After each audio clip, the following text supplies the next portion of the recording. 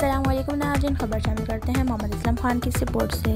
मुतहदा कौम पाकिस्तान, लांडी टाउन में हक पर सुकून। सूबाई असम्बली मखसूस नशस्त बरए ख़वान कुरतुलैन बाजी और लांडी टाउन ऑर्गेनाइज़र ताजफीन अली भाई ने वाटर बोर्ड के executive engineer water Landhi, Khalid Farooqui साहब, executive engineer sewerage Landhi, Javed साहब, डायरेक्टर सैनिटेशन लांडी वसीम शमा भाई ने लांडी के मसाइल पर बात की और काम को बेहतर बनाने की हिदायत इस मौके पर बल्दियाती इंचार्ज राशिद खान भाई, वसीमुद्दीन म्यू भाई, कोऑर्डिनेटर बरए हक पर सुकून। कौमी असम्बली हल्का N A two thirty three Javed Hani भाई साजिद कुरैशी भाई कोऑर्डिनेटर बरए रुकन सिंह असम्बली मौजूद थे।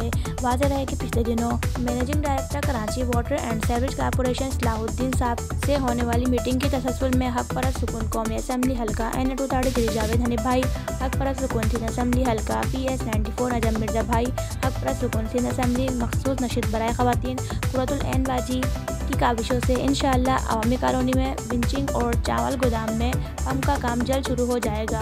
अब तक के लिए इतना ही। मजीद खबरों और अपडेट्स लिए देखते रहिए अर्ज़ पाकिस्तान न्यूज़ कराची।